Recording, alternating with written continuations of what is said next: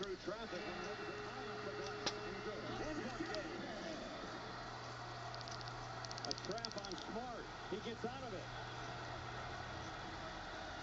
To Forte.